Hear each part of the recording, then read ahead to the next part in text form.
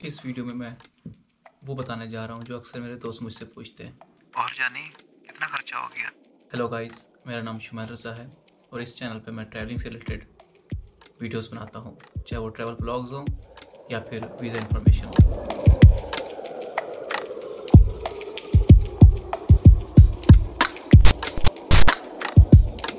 इस वीडियो को मैंने दो पार्ट्स में तकसीम किया है। एक ईरान में मेरा कितना खर्चा हुआ?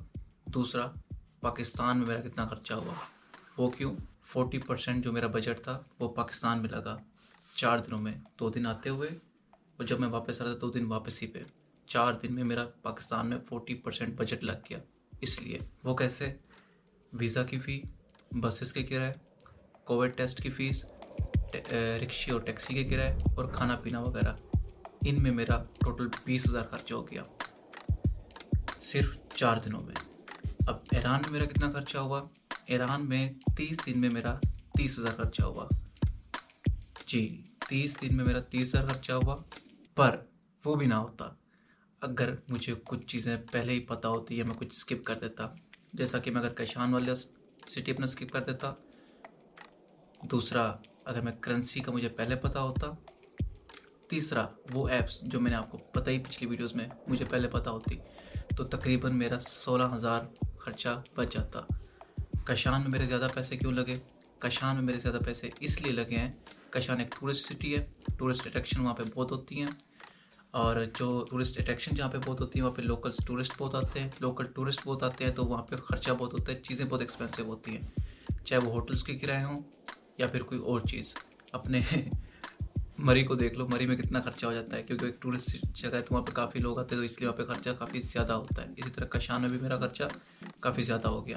अगर इन तीन चीज़ों को मैं पहले ख्याल रखता, कशान को स्किप कर देता, और दो चीज़ें मुझे पहले से पता होती चौदह हज़ार खर्चा, चौदह से सोलह हज़ार खर्चा बच जाता।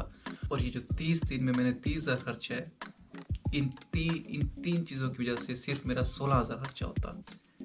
कैन यू इमेजिन आप ईरान में किसी और सिटी में जा रहे हो और सोलह सिटीज़ में जा रहे हो, पंद्रह सिटीज़ में घूम रहे हो, लगातार घूम रहे हो, आठ हज़ार किलोमीटर जा रहे हो और आपका सिर्फ़ सोलह हज़ार खर्च हो। इतना तो पाकिस्तान में रहते हुए भी नहीं होता। ये वीडियो बनाने का मकसद क्या है? ये वीडियो बनाने का मकसद ये है कि वो लोग जो ये वीडियो देख रहे हैं, आप, या अगर पहले मैं ये वीडियो देख रहा होता या किसी और ने ये वीडियो बनाई होती, ये चौदह हज़ार मेरा बच जाता।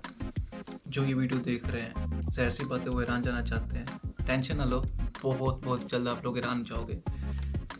हिम्मत ना हारो, बस अपडेट रहो अपने आप अपडेट रखो अपने आप को, चीज़ों के बारे में नॉलेज रखो। खर्चा भी कम होगा और अच्छे से ट्रैवलिंग हो जाएगी, मज़ा भी बहुत आएगा। मैं भी आज से तीन महीने पहले, चार महीने पहले बस वीडियोस देखता था कि कोई ईरान गया है, कितना खर्चा हुआ है क्या क्या फ़र्क है, वहाँ पे कौन कौन सी जगह घूमने की हैं। अगर मुझे पहले पता होता तो मेरा खर्चा कम होता। लेकिन चार महीने पहले मैं वीडियोस देखता रहता था कि कोई ईरान गया है कि नहीं किया और आज चार महीने बाद मैं खुद ईरान से होकर वापस आया हुआ हूँ। इनशाला आप भी बहुत जल्द ईरान होंगे। और उम्मीद करता हूँ कि आपका ट्रिप मुझसे भी अच्छा गुजरेगा। इस वीडियो को मैं यहीं पे ख़त्म करता हूँ। ज़्यादा लंबी नहीं करते। तो मिलते हैं आपसे अगली वीडियोज़ में। हाफिज़। Bye bye.